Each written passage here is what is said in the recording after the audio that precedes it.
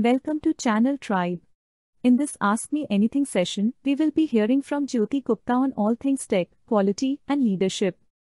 Welcome once again to this Ask Me Anything session on all things tech, leader, quality, and leadership with Jyoti Gupta, who is the VP of Engineering at Zupee. Uh, before I move forward, I would like to give a huge shout out to BrowserStack, our uh, exclusive sponsor to our all community events and our premier sponsor for all our conferences.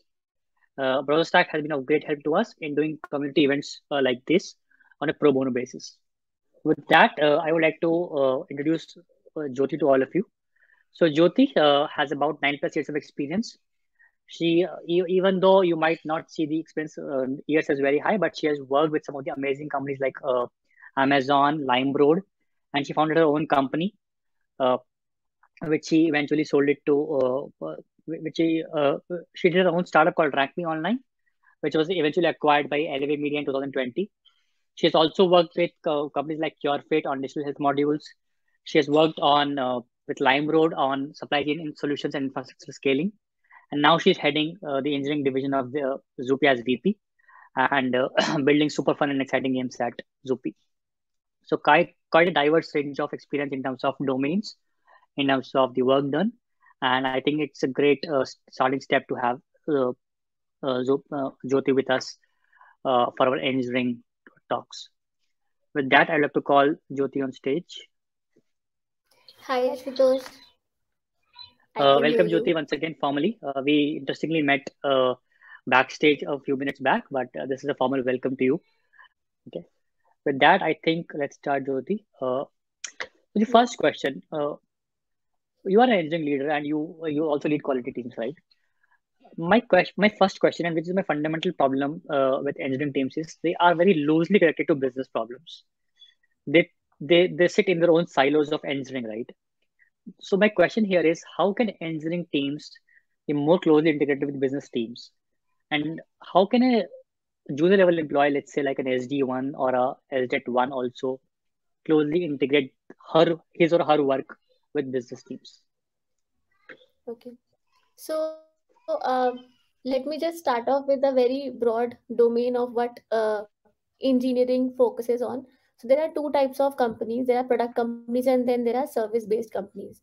In service-based companies, there is basically no notion of a business in terms of a product that that they are building. It's majorly like you are completing the client's requirements and then you are making sure that they are done in the right manner so primarily there is a very less or uh, interaction with the business.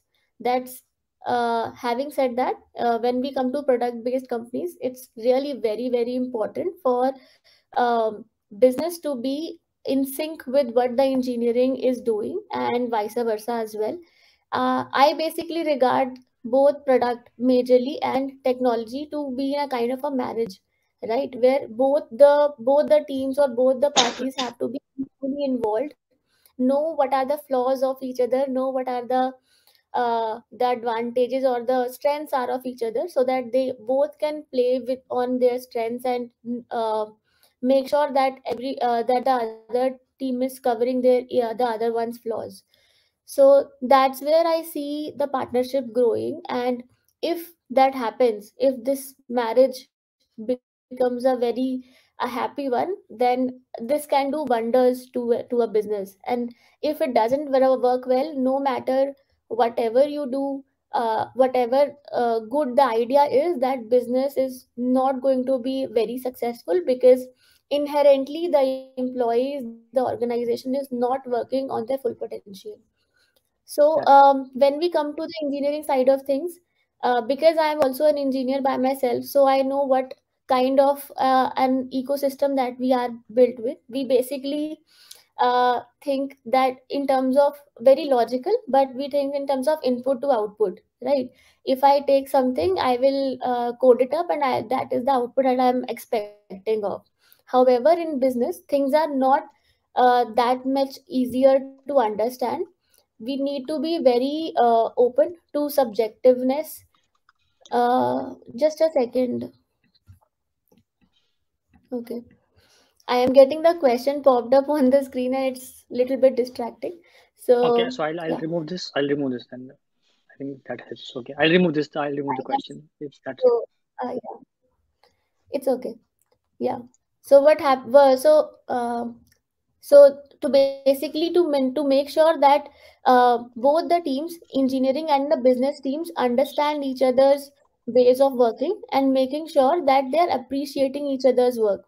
Many times I have seen that uh, engineering teams feel that their work is more important and the business teams are just doing what the end output that they are giving and in the other terms business teams think that they are running the show and engineering is just doing what is uh, expected out, out of them or just given just like kind of writing what they have been told to so both the team need to be very uh, you uh, you can say they need to work with a lot of humility modesty and understand that each of the the work that both the teams are doing is extremely important and not everybody can do what the other teams are doing.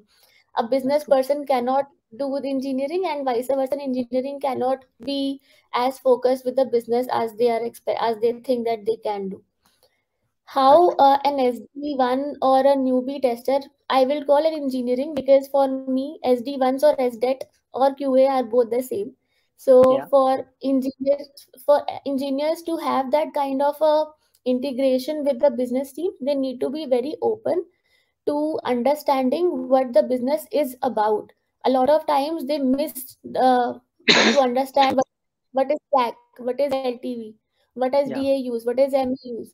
And if you do not know that, you won't be able to contribute to the product. Okay. And in the end, everything in the ecosystem works on creating value. There, if you are not creating value, you will not be able to be uh, integrating well, you will not be functioning well and uh, delivering on what you are expected of.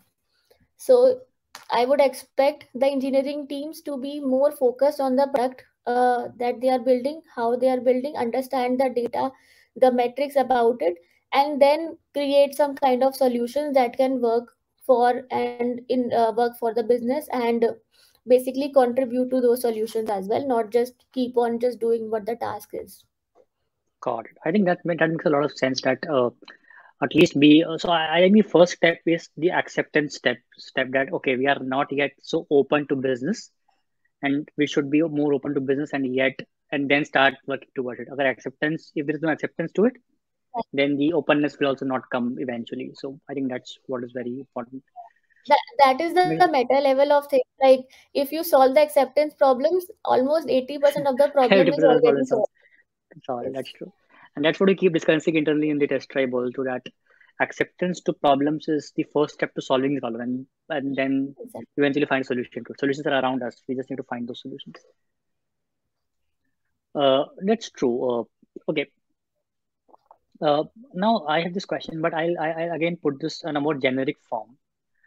Uh, because the technology world is rapidly changing, the business world is rapidly changing in general. So the macroeconomic environment is rapidly changing what is the best way for I, I initially kept it as a tester question. What, what's the best way for a tester to stay relevant uh, in this rapidly changing tech, tech, tech, technical world and the business world? But I will put it on a larger frame.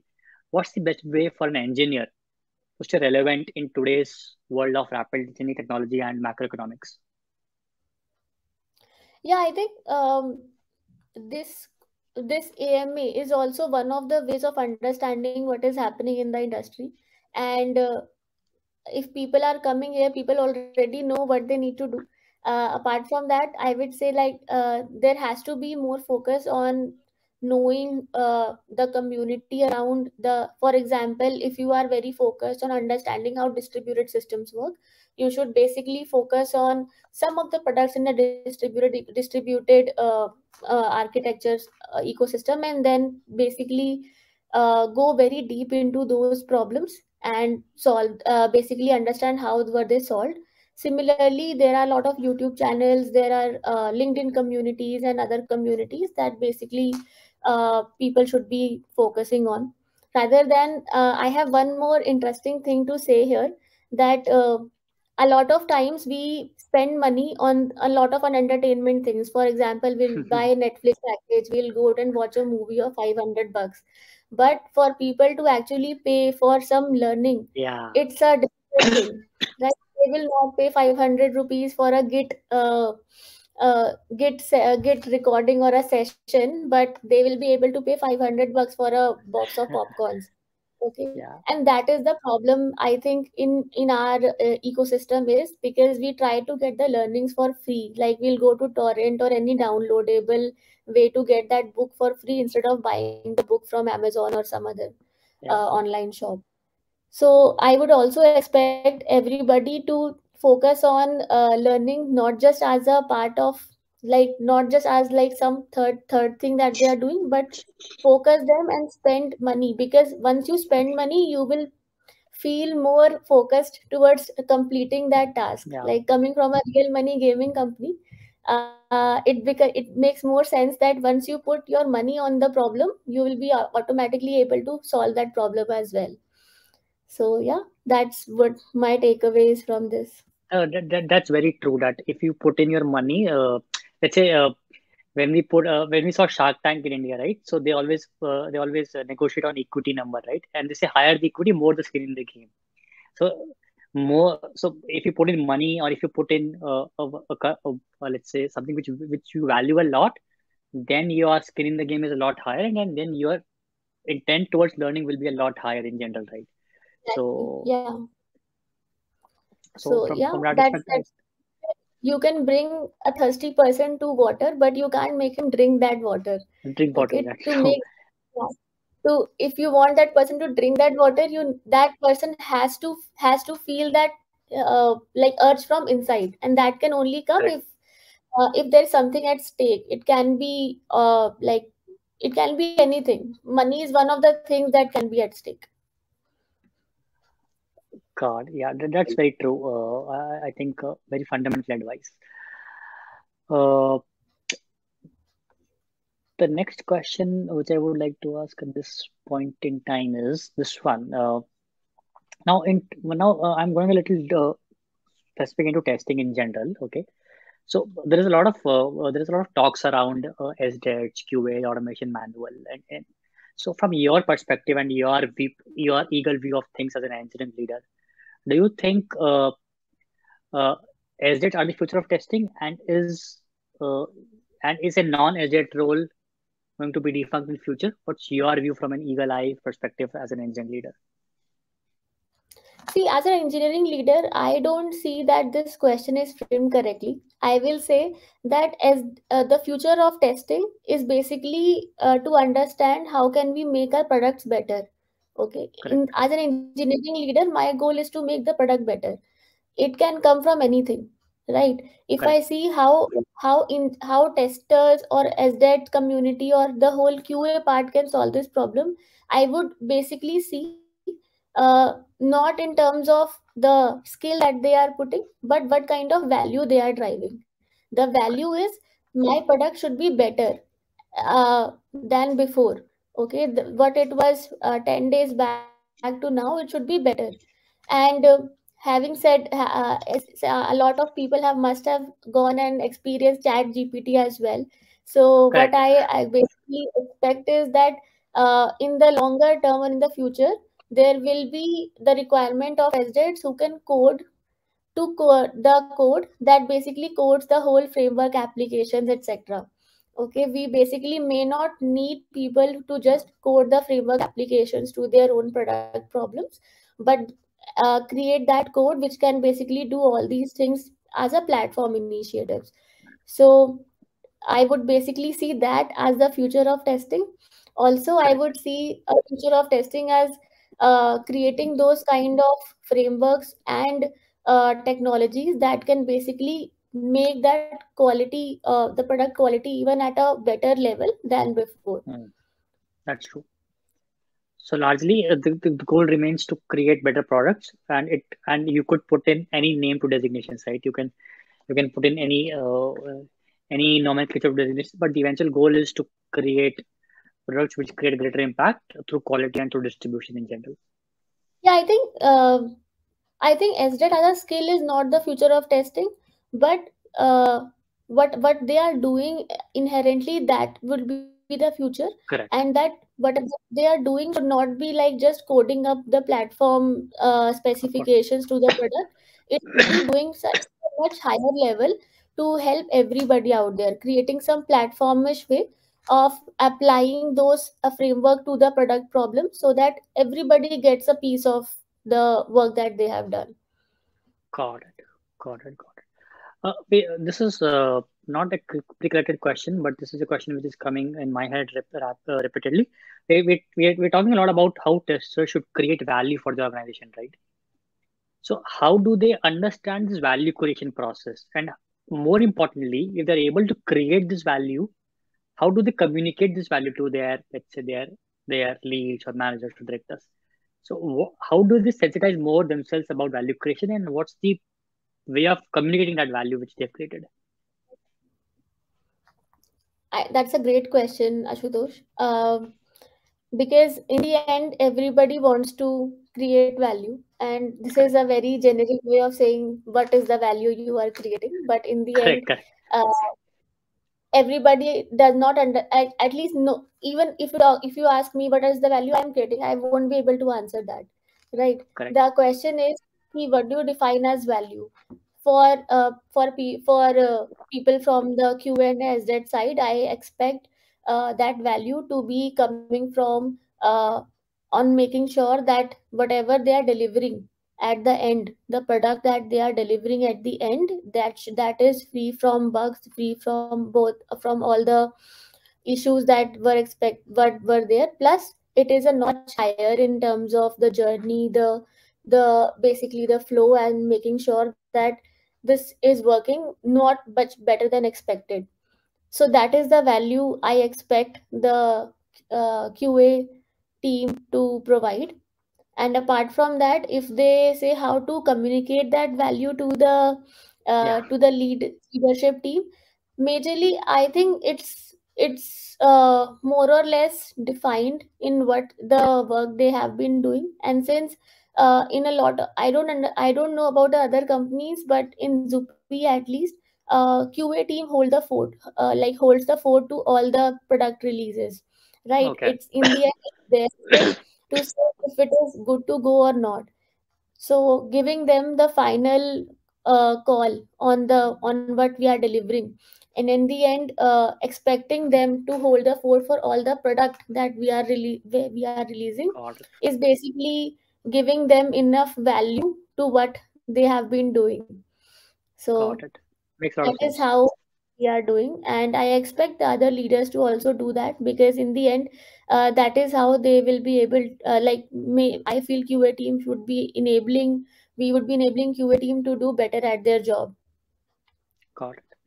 Uh, this is a very interesting question from uh, Madhu, and uh, this is related to we, we keep saying that that eventually the goal of the whole engineering team and product teams is to make make the products better. But yeah how do we fundamentally measure betterment? So what's the metric to measure betterment? Is, is, is it NPS? Is it let's say a certain increase in DAU, MAUs? Is it what is the what is the metric to measure betterment uh, from your understanding of things? see uh, a product can be bet can be made better in a lot of things one one of the ways is the way the journeys have been thought of there can be a lot of ui points which have been missed or some journeys which have not been done correctly. Inherently once the product is getting developed it can be evolved through very focused focused eyes of the qa team once the uh, product is also launched okay there is a lot of feedback that comes in from the customers Correct. right so i uh, there there are very less folks who basically go and read that customer uh, feedback and basically use that to drive the next uh, iteration on that product. Okay? So uh, i would expect the qa team to basically go and uh, get the opinion of the other users and, see, and read that customer feedback and make that product Correct. even better. Okay? Because in the end uh, i uh, making the product better is not just the, goal of one product team or the design team or it's a collective responsibility and when when we say quality quality means everything it does not mean quality at the at the time the app is released or at the time the product is released it means quality of that product in general to the end of the time. Got it. Makes a lot of sense. Uh, uh, because essentially, uh, essentially, uh, if you are not close to your customer, then you are in a certain shell of your own, and you you you you, think you are making the best product in the market, but the customers don't like it. So, if you're closer to the customer, you will know what's the what their voice is, and you will be able to make a product which is more suitable to them by and large. And that's why I, I, generally recommend people to go to so uh, to essentially uh, engineers. Uh, so I, I know someone who runs a company, he asks his engineers to go on sales trips. And then engineers are at times taking one day on a support chat, understanding customer feedback, what, what kind of customer feedback is coming. They're going to sales trips, seeing what the customers are saying in that respect. So that ways the business integration also happens very uh, holistically and engineers get a wider view of things on what they should be doing in terms of getting better business for the company. Yeah. Uh, the, the next question, uh, which I have, is a fundamental question again. Uh, what are the key skills you look for uh, in a in a tester by and large when you hire someone? What are the key skills in a tester which you look for? So uh, I look for three things majorly. Okay. Any two which are like more good, I I can hire that person. So okay. Uh, first is majorly aptitude. I can't okay. basically uh, go less on aptitude. Aptitude is one of the most important things to basically for any engineering person to have because Correct. if you have aptitude, you are able to solve any problem. Solve solving a problem is what an engineer is capable of doing, and that's the goal everybody should have. The other thing, uh, the second thing is perseverance. Perseverance is something that a QA has to has to have because uh, the ability to, to keep on doing the same thing again and again and again and again is very limited. Like i don't see a lot of folks to have it. I don't expect everybody to have it. But if a qa a person is there they must have that skill because in the end it takes time to get something uh, great. And that time is basically iterations. So perseverance is really important. And the third most important thing is discipline. Uh, discipline Got is some something that a lot of engineers take for granted, but this is one of the core things that can make you grow or not make you grow. So even if you have aptitude but you don't have discipline, it will be a problem. So discipline, perseverance, and aptitude, these three things are very important to me when I hire a tester or any engineering person in general.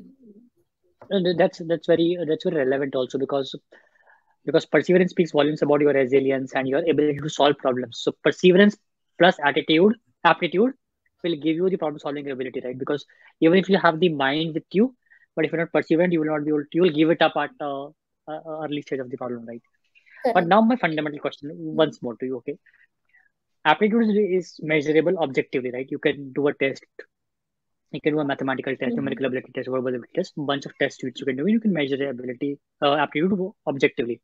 But how do you measure someone's perseverance and discipline in a limited constraint of uh, multiple rounds of interview?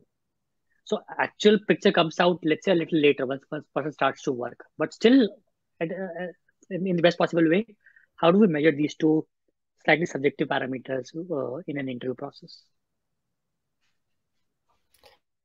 Uh, good question. Perseverance is uh, still uh, testable because we can be uh, what i do is i basically ask them a couple of questions on the current Zoopy app so sometimes they don't have the Zoopy app so i ask them to download the app okay and just find a bug in the app okay must many people say yeah i found one okay i have to download it okay कैसे करना है क्या करना है so it shows that they are reluctant right they are not very focused on doing it. It can also show a lot about how important that interview is to them, but that's a different question.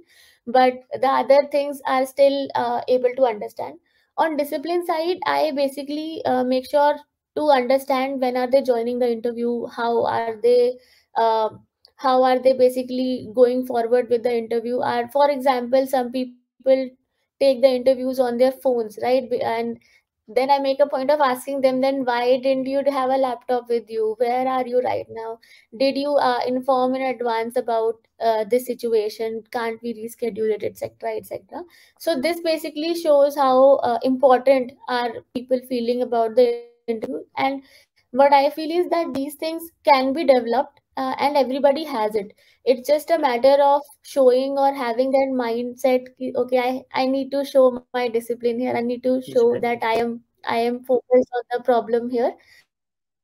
So it's just a matter of that. So yeah i do keep uh, checking these things. It is difficult. I also take help of my hr team and uh, the hr interview at the end it's also very important uh, to understand how important that person is feeling towards the company and showing all the things like perseverance and discipline as well. So based on the collective feedback of the interviews on the skills and the hr we take the final decision. Got it got it.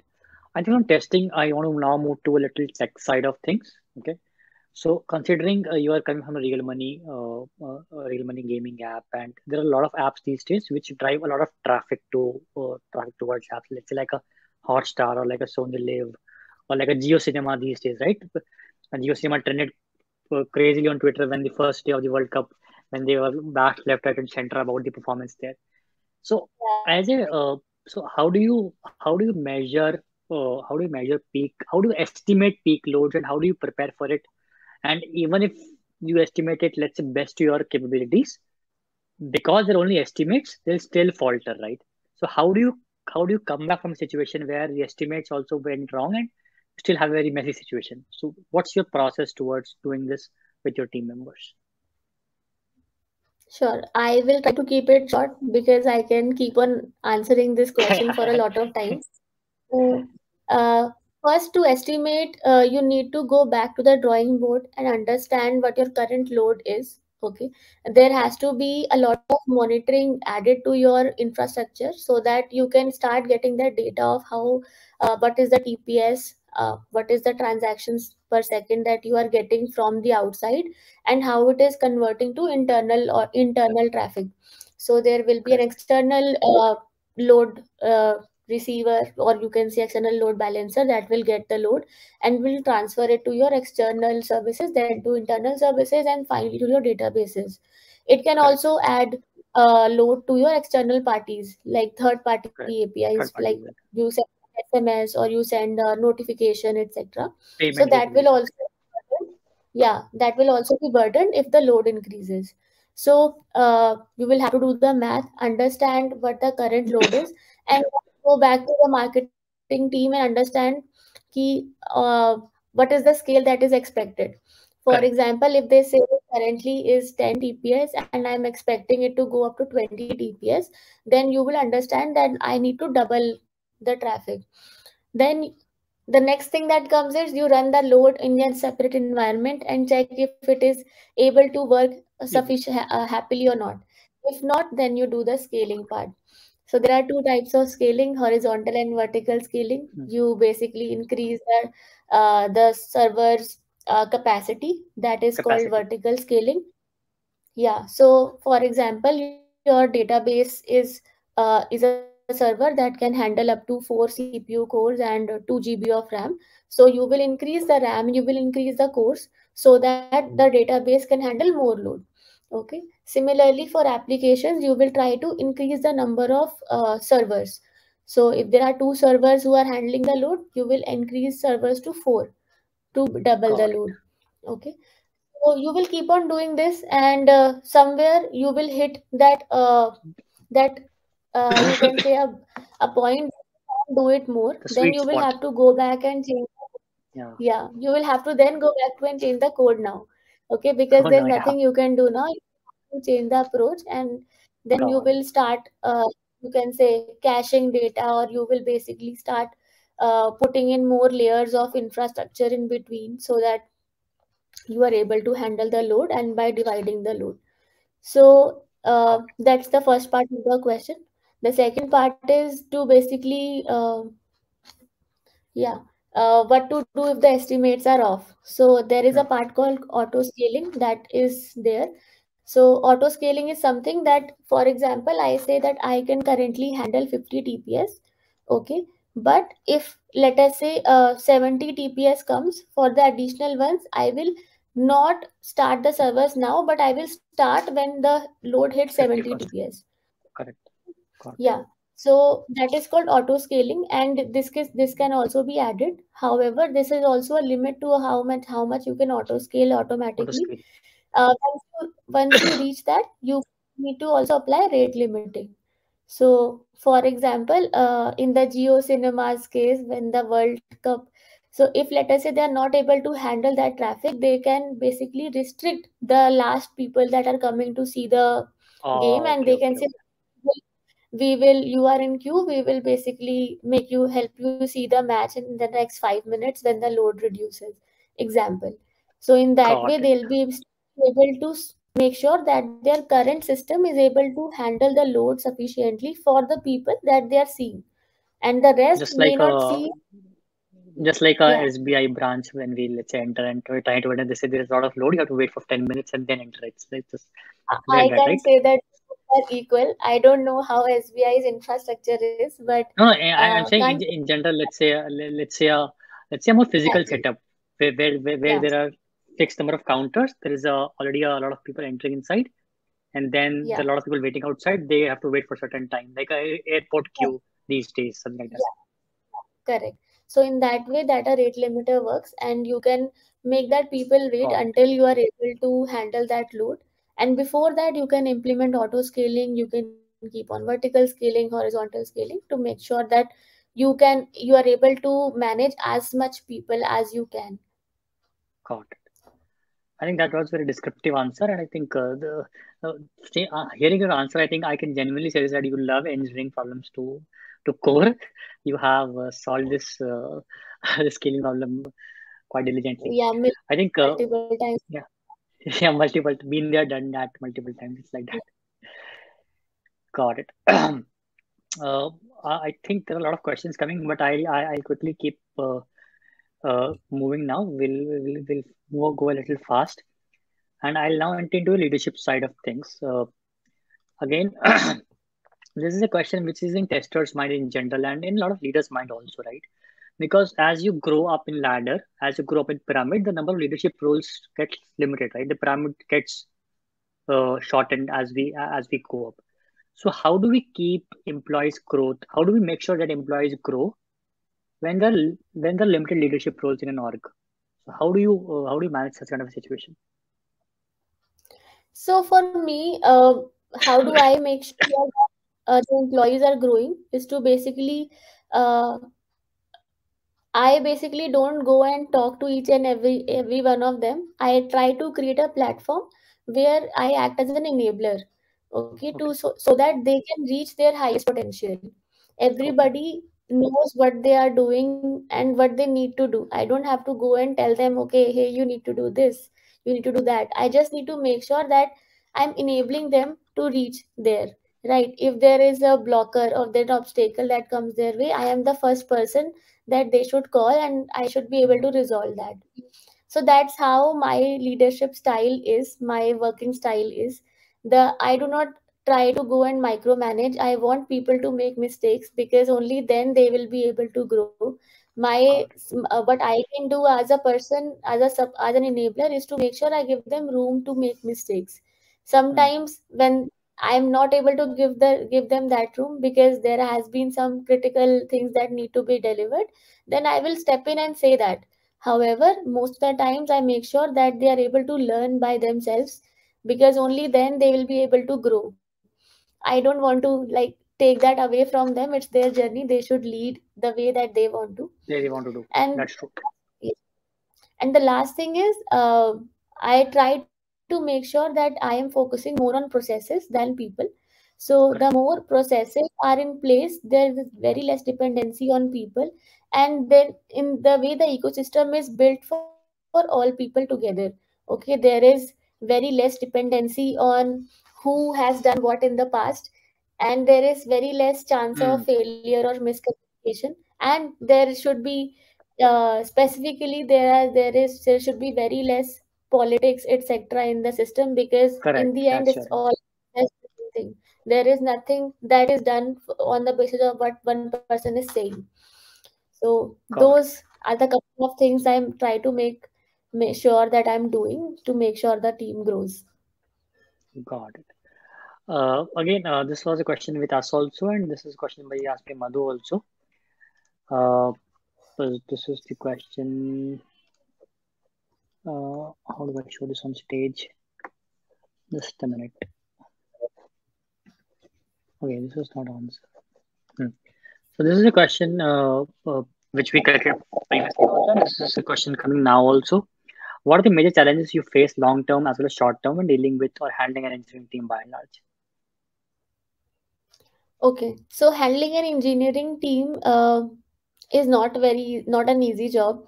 Uh, actually, handling any team is not easy. Engineering team is one of the most difficult teams because you need to make sure you are uh, you are being right by everybody, and that's not possible at all. So I try to make sure that I am meeting everyone in the middle sometimes, and sometimes it is also not possible. Uh, challenges that I have faced in short term are uh, are the simple challenges that uh, some very good talent is leaving the company. I have faced Correct. that problem, and that has also that has been one of the major blockers to a lot of things that have that have been going on. Uh, some uh, making sure that everybody is is happy is one of the very uh, difficult problems, which I called as stakeholder management. Making sure that our internal engineering team is working very smoothly with other external teams like marketing, product, CRM, etc. So since it's a tech company, every other function wants to work with the tech team because they are dependent on them. Even our finance team is dependent on the tech team. So to make sure that everything is running smoothly is one of the major things. And yeah, those are the challenges I have faced long term challenges i feel one of the bigger challenges is uh, employer or you can say tech branding that Hmm. is still uh, because Zupee as a company has uh, come out to the world in this year only before it Hmm. was not known to everybody A- and Hmm. still uh, i think a lot of people who have joined in may not know about Zupee so Correct. uh, hiring in such a uh, not known startup Not known is startup. very Yeah. difficult yeah it's very difficult yeah even if you have the money uh, you can basically get people but i don't believe that money is the only solution to getting good people in house.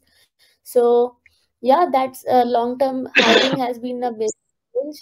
Branding is a major challenge because uh, no matter how good the team is or how good the work we are doing still people want the uh, everything to be shown to the world and i also want that to happen.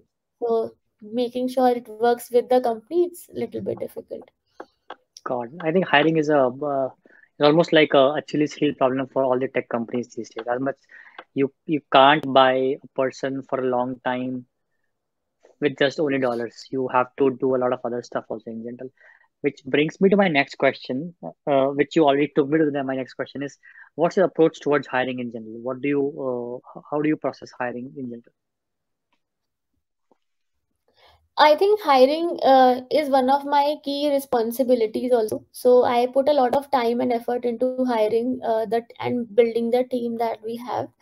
Uh, I've already told the the skills that I look for in hiring rather than and um, the more when I uh, 2021 had been a very like a bad year for hiring in general because Yeah, uh, for at least the employers it has been really bad maybe the employees were very happy getting very good packages all around but for us it has been really difficult. Uh, the idea was to make sure that we are hiring people not just for the money but also for what they are getting in terms of the uh, the people that are there mentorship that they are getting the work that they have been doing.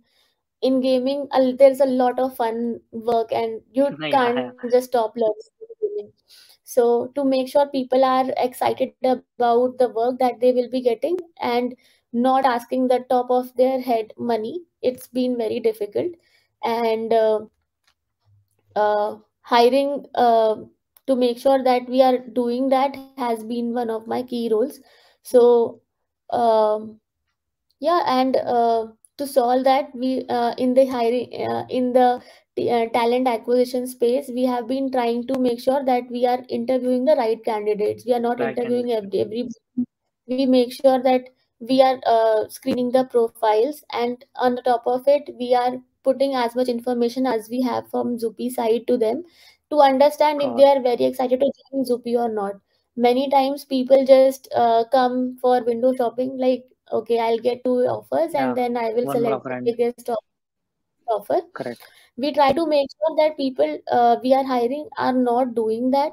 Either we try to make sure that they are uh, accepting or they are happy with the offer that we are giving or we try to make sure that we are not wasting each other's time by doing interviews if it is Got not going to get done so yeah that's that's my take on hiring. It's it has changed a lot from my experience with amazon in the past in 2012 2022 things have been really really Oh, uh, really different changing, now rapidly changing. Yeah, that's true.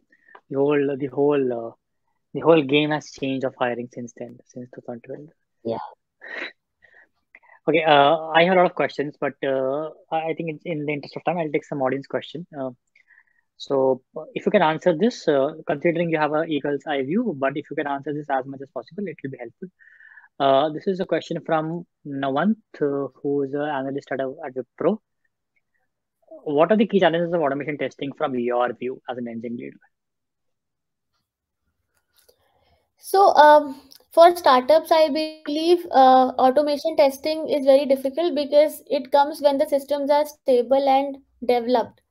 Uh, for uh, startups, things are never really fully developed. They keep on developing and in a agile way. Not there is no uh, you can say documentation on what the APIs are, and once the documentation is ready, the APIs must have changed. So Correct. for an automation testing to be there in a startup, it's very difficult. Uh, if you are starting from scratch, we can uh, there is a problem, then there is a solution also. We can basically solve that by doing some kind of codeless testing, codeless automation if it is possible, to make sure that we are reaching the final solution faster and not like spending more time in coding things that might change later.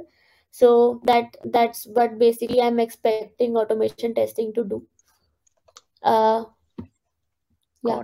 So yeah, for the lot of bigger sense. companies where, where the solutions are pretty much uh, prepared and in a very thoughtful way, in a very Yeah. slow fashion it's easy, easier. And sometimes we basically uh, do uh, the testing code first so that we are able to uh, do development easy, even faster and in a very, uh, you can say, non-buggy way.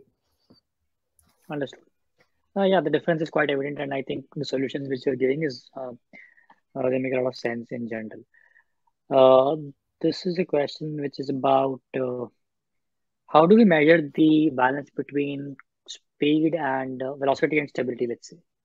How, how, it's, it's always a trade-off, right? It's always a trade-off. That how do we measure that balance between velocity and stability?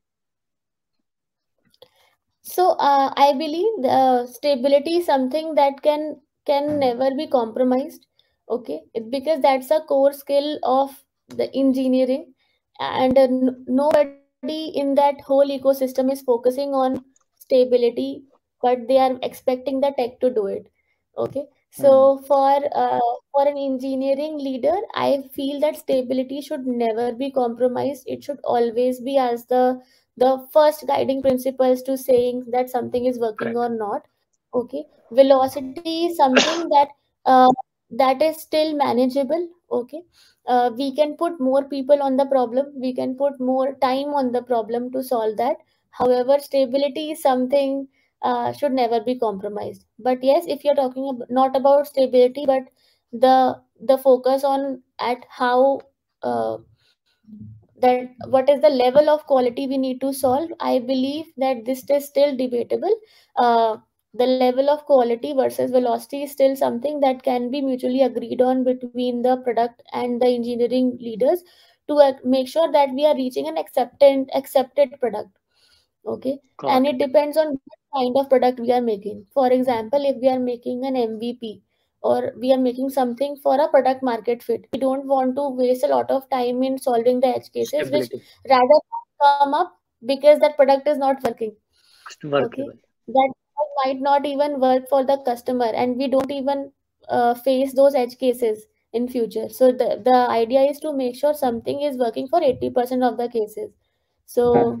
for I basically apply an 80-20 rule, which is like a Hmm. generic rule to make sure that uh, 80% of the work is done in 20% of the time.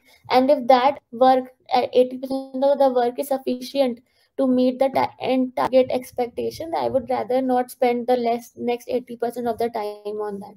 God. Yeah, makes a lot of sense. So it depends on uh, it depends a lot on the product stage also, right? If it's a mature product, then you will also want to work on stability. If it's a new product, then you will want to churn out releases very faster, and then stability can still take a little backers backseat. But uh, that's the difference in the product stage. Uh, slightly technical question, but still, because it's upvoted, I have to take this because it's been asked by a lot of people. Uh, see uh, uh, if you can answer this. Uh, what is the importance of having automation around mobile games or video-based applications? Uh, how do we ensure we are touching the threshold on these applications? So because mobile games are quite uh, quite uh, different as compared to a web application or a mobile application. So how do we uh, do automation? What's your view on this? Um, okay, can you show that question because I want to yeah, read it sorry. again. Cool. So, yeah, I think uh, mobile games or any kind of a game or a application needs to be completely tested. It rather be on automation or not, it is a question of how quickly or how easily you want to get the product out. It's it's not something that I can be uh, telling that about. Automation definitely should be there in mobile games because uh, a game once it is out, it is basically the the final version of it. You don't change the game very often okay? And in the subsequent releases if something goes wrong then it's a major fall because that whole game would have gone for a toss. So having automation is really very very important for mobile games and video based applications. Uh, at least after the product market fit has been reached then it is really uh, like more than 100% it should always be there and uh, I don't understand actually the second part of the question. What is the Yeah, threshold uh, that is? Yeah, that's a little. Uh, well, I think there's a little typo there in the question. So I think uh, for this moment, I think let's go ahead for the next question. So I'll ask the last question, which which I have, and I think I should ask uh, leaders like you here uh, before we end this session. Uh, I know there are a lot of questions left to all the people. I will try and get answers to these questions from Jyoti uh, in a more offline setup, uh, async way, and then share it with everyone on our, on our Discord community. But because we are almost time and it, it's almost late on a work day, so I'll ask my last last question at this moment. So uh, nowadays, nowadays, due to whatever macroeconomic environment we are seeing around the whole world, uh, there are a lot of layoffs happening, right? Uh, every a lot of companies which have never laid off in past, let's say like a uh, like a Stripe or like a Meta, or like some other somebody else, people who who are renowned for their work cultures by and large are also firing or laying off people. In India, of course, there is there are some which are coming out on the news. There are some which are happening under the carpet, right? So two parts to this question. Uh, as a leader, how do you handle this kind of situation? Because from business perspective, you might have to do this, but how do you communicate and how do you handle this kind of a sensitive situation? Because it it has a it is a long lasting impact on company's culture, team's culture, your work aptitude, right? And secondly, how as team members or employees can they prepare themselves better to this? So from a leadership perspective, this is a this is one of the really grave or bad situations to be in to basically call the layoffs with uh, the whole people. Uh, believe me when I say this, I'll, it uh, whenever there is a situation like this, it has it would, would have been revisited like 10,000 times with the whole leadership team in That's true. multiple different scenarios multiple different times and with different type of people even the investors etc so everyone would have been involved and everything would have reached to that decisions to call the layoffs uh, once that has done the, the idea is to make sure we make we enable people to basically find the next good thing in their life as soon as possible or as quickly as possible. That is the goal of the employer. And to make sure that uh, they are not losing out from and that they are they make the easy transition to the next role. Uh, whatever can be done to support them that is something that is on the mind of the employer. And uh, when when we say about who's going to lay who's going to be getting laid off uh, many times it's a call of the business in terms of the numbers that they crunch about the salaries about the value uh, the value that the teams are driving and uh, majorly how critical they are to the end product that has been done it okay. would be really hard but there will be some support functions which may not be very like uh, paid in good salaries but they will be rid of first because they are the ones who are on contractual basis or basically they are ones who can be uh, easily hired back when the volumes rise okay uh, apart from that uh, in engineering this is the first year uh, 2022 that i have seen layoffs happening in engineering teams. Otherwise layoffs don't don't generally happen in the engineering teams. In engineering also the the layoffs majorly happen for the products or basically the functions that have not been able to create value from a long period of time and they have become now a liability. So we need to go back and understand what we have been doing and most of the times it is not the fault of any one person. It's a collective responsibility of the whole business and the engineering when they reach this. So that's that's how uh, layoffs typically work. And uh, from a from a employee side how can you be uh, prepared for layoffs? You can never be really prepared for a layoff but what yeah. you can do is to make sure that you are all, always focusing on learning knowledge rather than yeah. uh, laying uh, like laying and just making sure that you are doing the next task that you have been given because in the end whatever learnings and skills you have will be able will help you to get the next job okay and uh, just make sure that we uh, uh, that you are on point on what you what the skills are uh, there and you are keep you keep on learning on your learning. responsibilities responsibility so that you can get the next job easily. And very frankly speaking uh, when uh, even if layoffs are happening there are companies who are still hiring. Even Zupee yeah. is hiring. So, so it doesn't yeah. The idea is that uh, there is no dearth of jobs in the in the industry at least for tech engineering side there has never been a dearth of jobs. There has always been a lack of uh, people who are at that level. So just make sure that we are learning and reaching that level sooner so that we can basically get hired faster. Got it. Makes a lot of sense i think. Uh, this is a very sensitive situation uh, sensitive topic and i think you handled it quite uh, maturely in all that respect so I think we are almost time now. We started at 9.5. We are almost at 10.5 and this is quite late in India. I think people joining from Southeast Asia might also be feeling a little late. As a moment, I, I would like to thank you, Jyoti, once again for taking time out and answering our questions patiently. If some of our questions were not as logical or as matured, please forgive us for that. Yeah, thank you, Jyoti, once again. Any closing words? Thank you so much, everybody. I would uh, really like to an- would like to answer all the questions. I'm sorry I have not been able to answer all the questions, but Yeah. I will expect those to reach me out and would try to answer as much as possible. You guys can also reach me uh, on LinkedIn. Cool. Then I think uh, thank you, Jyoti, once again, and thank everybody for tuning in. Can't thank you, thank all of you enough for uh, this amazing session and uh, the kind of love which you have shown to all of us here. Thank you. Thank you. Thank you.